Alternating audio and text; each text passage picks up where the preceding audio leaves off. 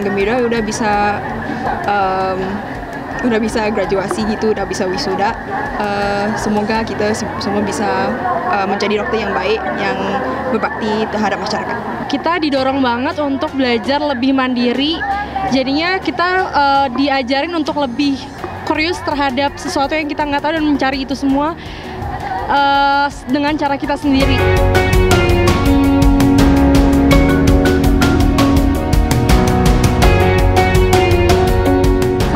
Bisa belajar di Unpad uh, terutama dengan lingkungannya yang asri waktu kemarin di Nangor terus pengajarnya juga baik-baik terus ketemu teman dari berbagai macam tempat jadi bisa berbaur dengan yang lainnya tuh enak banget Ya, senang banget belajar di Unpad, banyak dapat pengalaman, banyak ilmu juga. Dari terima kasih untuk uh, semua para pengajar dan teman-teman.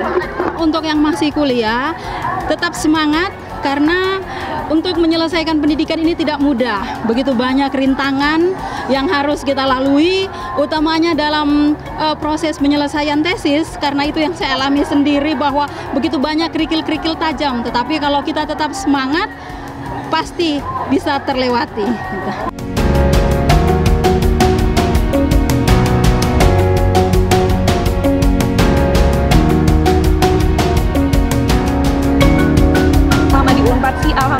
Semuanya lancar-lancar aja. Uh, terus dosen-dosennya juga semuanya membantu uh, ngedidik kita banget sampai kita bisa sampai tahap dokter kayak sekarang. Dan uh, pesannya buat yang belum lulus uh, terus semangat terus dan jangan lupa minta doa buat orang tua dan teman-teman sekitar karena uh, sampai sini pun kita juga uh, banyaknya tuh dari doa-doa orang sekitar kita biar bisa sampai sini.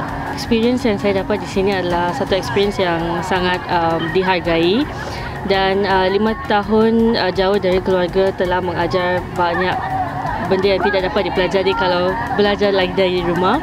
Dan UNPAD telah memberi pengalaman yang tidak dapat dilupakan. Um, saya telah mendapat pengalaman dan kawan-kawan yang terbaik di sini. Jadi buat teman-teman yang masih belum uh, wisuda yang masih belum uh, lulus lagi uh, saya sarankan hanya uh, belajar mengikut uh, jadual sendiri tahu diri sendiri cara belajarnya gimana um, and kalau stress harus di stress dulu baru continue belajar. Jangan terlalu stress and all. Uh, kerana uh, failure is a part of success. So yeah don't give up and keep fighting